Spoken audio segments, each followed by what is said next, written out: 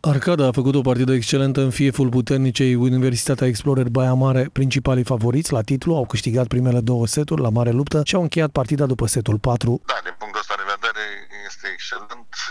Chiar echipa a marcat o creștere în joc spre norocul nostru și am reușit și puțin noroc să reușim să luăm cele trei puncte de la Baia Mare, un loc unde să câștigă destul de greu.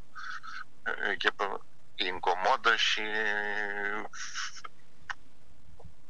e un loc unde o victorie îți creează o bună dispoziție pentru meciul următoare.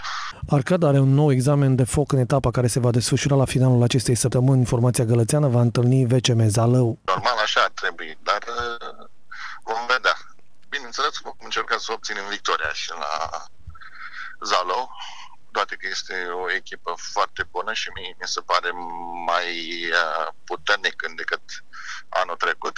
Lupta pentru titlul de campioană se va da în acest sezon în patru. Arcada, Volei Club Municipal Zalău, Steaua și Club Sportiv Municipal Craiova vor lupta pentru cea mai importantă distinție internă.